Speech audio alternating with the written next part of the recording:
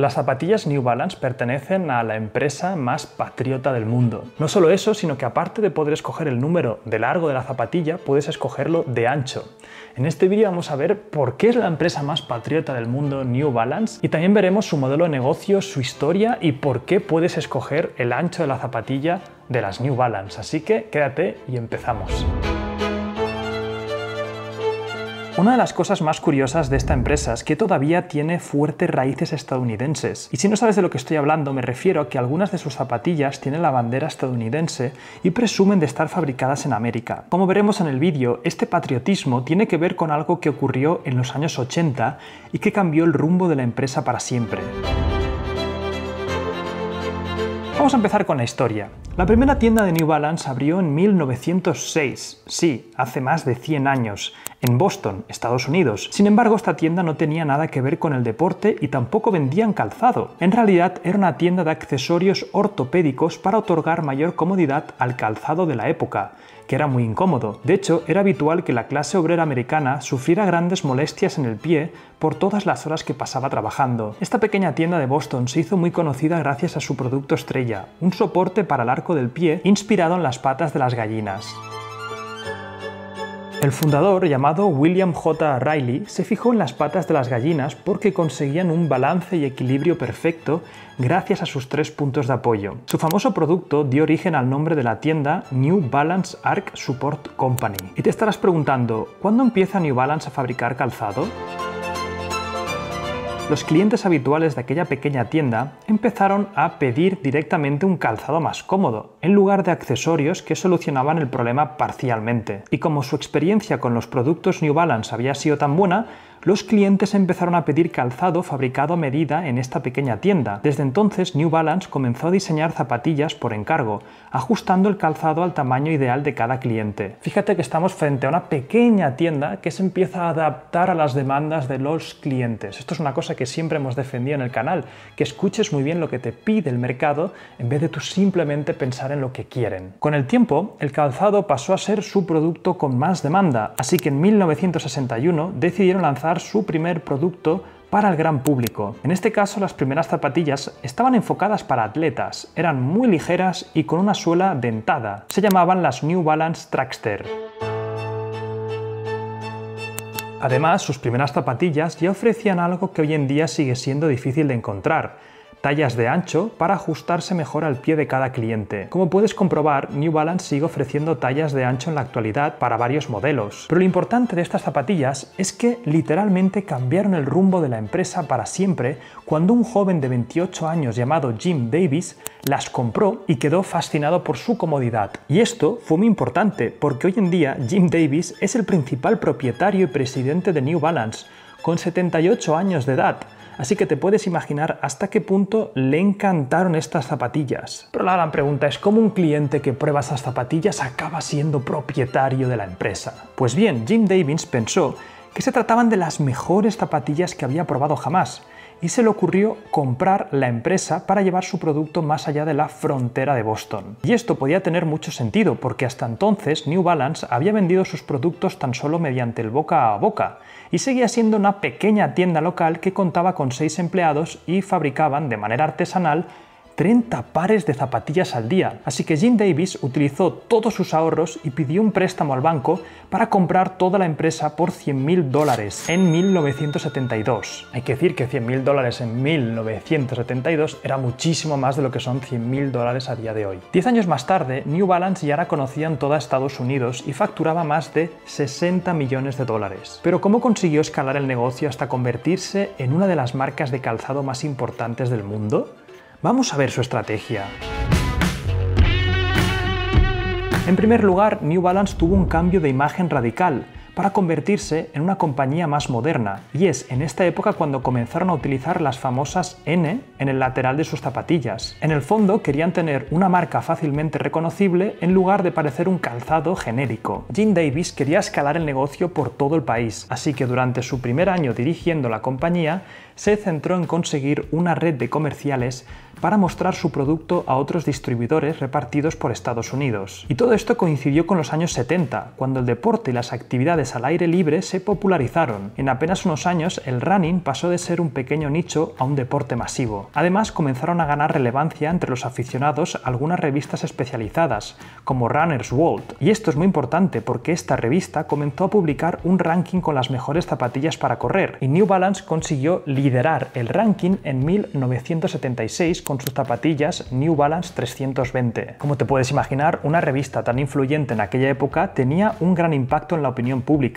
así que New Balance se convirtió en la marca del momento y la demanda de las zapatillas se disparó en estos años. Esto es muy importante entender porque el marketing especializado por ejemplo, cuando una revista que habla sobre este deporte hace un ranking y te pone arriba del todo, esa publicidad vale muchísimo más que cualquier publicidad que tú puedas pagar. ¿Por qué? Porque al final va hacia un nicho concreto de personas que siguen muy de cerca este tipo de deportes y son los primeros adoptantes que luego van a hablar incluso a otras personas de este producto. Como empresa es muy importante tener estas relaciones con este tipo de revistas especializadas porque el público está muy concentrado y son incluso los prescriptores que luego hablarán de tu producto a otras personas. Sin embargo, el running por aquella época acabó bajando un poco de popularidad para dar lugar a otra tendencia, el aeróbic. Y esta otra moda fue liderada por otra marca que acababa de aterrizar en Estados Unidos, Reebok. Reebok no solo se convirtió en la marca de aeróbic por excelencia, sino que también popularizó el calzado de deporte para el día a día. Y esto indirectamente acabó siendo bueno para New Balance y otras marcas de deporte, como por ejemplo Adidas y Nike. Es decir, se podía decir que el mercado de las zapatillas de deporte se hizo más grande. En 1985, New Balance ya facturaba más de 80 millones de dólares. El problema es que sus competidores estaban creciendo mucho más y ahora vamos a ver por qué. Los años 80 fueron decisivos para las marcas de deporte porque habían crecido exponencialmente y todas las empresas decidieron mover su producción a Asia todas menos una, New Balance, que continúa fabricando prácticamente todo su calzado en Estados Unidos. Y atención, porque este patriotismo se ha convertido en un sello de identidad de la marca. En aquella época, a diferencia de sus competidores, New Balance tenía una forma muy distinta de fabricar sus zapatillas. Era un proceso más artesanal que costaba más tiempo y dinero. Y aunque esto era positivo para la calidad de sus productos, la realidad es que sus márgenes de beneficio eran inferiores a los de su competencia. En 1989, los ejecutivos de New Balance presionaron a Jim Davis para mover la producción a Asia para así reducir los costes. Y no estamos hablando de un pequeño ahorro. Esto suponía una fortuna para la empresa. Era algo así como pasar de pagar 10 dólares la hora a un trabajador a pagarle un dólar al día. Jim Davis se negó rotundamente a mover la producción a Asia. Al contrario, continuó invirtiendo en abrir más fábricas en Estados Unidos y mejorando la calidad de sus productos. Sin embargo, esto tuvo consecuencias en su crecimiento.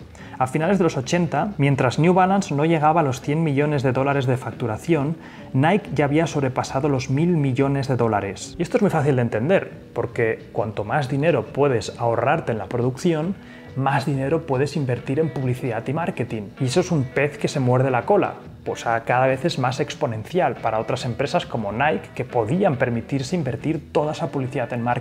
Así que llegados a este punto, New Balance tuvo que cambiar su estrategia para ser más competitiva. Por un lado, implementaron una forma de producir de forma más eficiente inspirándose en las fábricas de Toyota.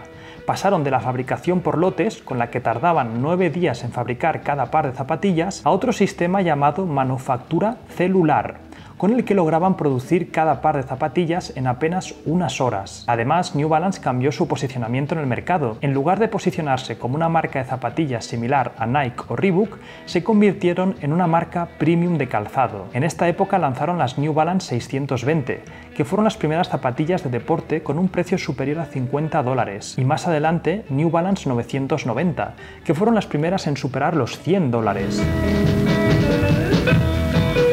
Y aunque hoy en día no parezca un precio tan elevado, en aquella época pocas personas se podían permitir pagar tanto dinero por unas zapatillas. Sin embargo, en la actualidad es habitual que empresas como Nike vendan sus zapatillas a más de 200 dólares. Como vemos, el posicionamiento de ambas marcas ha cambiado con el tiempo. Por ejemplo, en los años 90, New Balance no hacía marketing con celebridades, a diferencia de sus competidores y se centraba exclusivamente en deportistas de élites. Sin embargo, en la actualidad no solo patrocinan a grandes atletas o estrellas del deporte, sino que también hacen colaboraciones con artistas como Jaden Smith. Y otra estrategia que ha seguido New Balance, aparte de patrocinar a celebridades o deportistas, es entender muy bien cómo atacar a diferentes nichos. Por ejemplo, cuando quiso atacar al nicho del skate, entendió muy bien cómo se hace el marketing para entrar en ese sector patrocinando diferentes skaters, creando un grupo, creando vídeos, etc. Y esto también lo ha hecho muy bien para todos los deportes en los que está introducido. New Balance sabe muy bien cómo atacar cada deporte y cómo hacer un marketing específico para ellos. No solamente modifica la zapatilla para el deporte en concreto, no es lo mismo una zapatilla de skate que una zapatilla, por ejemplo, de running, sino que también patrocina diferentes personas concretas para cada uno de estos deportes. ¿Y os acordáis que al principio hemos dicho que New Balance hace tallas de ancho? Esto es probable que sea a través de sus orígenes. Pensemos que New Balance empezó siendo una empresa de calzado ortopédico. Está muy presente en su ADN que el zapato sea muy cómodo para las personas que lo usen.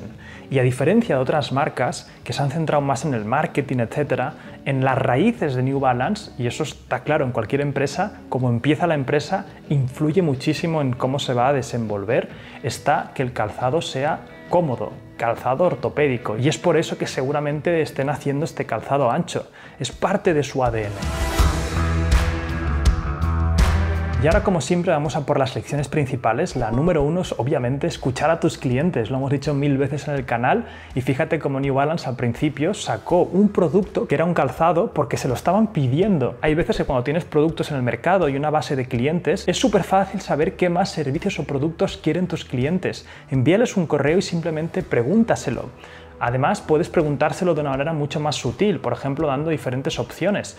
Imagínate que quieres sacar un producto nuevo y tienes tres cosas en la cabeza que quieres lanzar. Pues oye, en vez de suponer cuál quieres, pregúntaselo a tu audiencia, pregúntaselo a tu base de datos. Estos son los tres productos que estamos pensando en lanzar. ¿Cuál de ellos crees que te gustaría más? Y con esos datos puedes tomar mejores decisiones. La segunda lección es piensa cómo puedes ser más eficiente. New Balance es un ejemplo clarísimo de innovación a la hora de crear producto.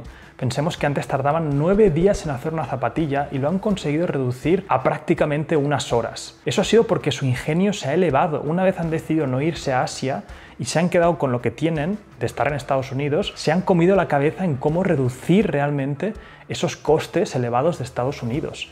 Esto lo puedes hacer tú en tu empresa y te recomiendo que lo hagas cada mes o cada dos meses. Hacer un brainstorming con tu equipo o con tu equipo directivo y pensar en, oye, ¿dónde podemos recortar más costes? Porque pensemos que eso al final afecta igualmente a los beneficios. Puedes ingresar más o reducir los costes. Y seguramente en ese brainstorming te aparecerán cosas que no te habías ni planteado, porque simplemente es como hago las cosas y ya está. Y la tercera lección es piensa en cómo puedes surfear las tendencias del momento. New Balance lo hizo muy bien con el running, pero lo ha hecho muy bien también con el skate y con los diferentes deportes que han ido saliendo. Alinear tu producto a una tendencia, a una moda actual, siempre va a ser beneficioso. Es muy difícil nadar contracorriente. Siempre hay que escuchar el mercado y saber dónde está yendo esa tendencia para poder surfearla con ellos. Así que nada, hasta aquí este vídeo, espero que lo hayas disfrutado muchísimo. Ya sabes que en emprendeaprendiendo.com puedes seguir formándote con nosotros, te dejaré el enlace en el primer comentario y en las tarjetas. Y si también quieres aprender de diferentes libros y un poco más conocerme personalmente, también tienes mi canal de Euge Oyer, donde ahí cada semana resumo un libro, así que si te interesa ese mundo también te lo dejaré en las tarjetas y en el comentario. Espero que vaya bien y nos vemos en el siguiente. Chao.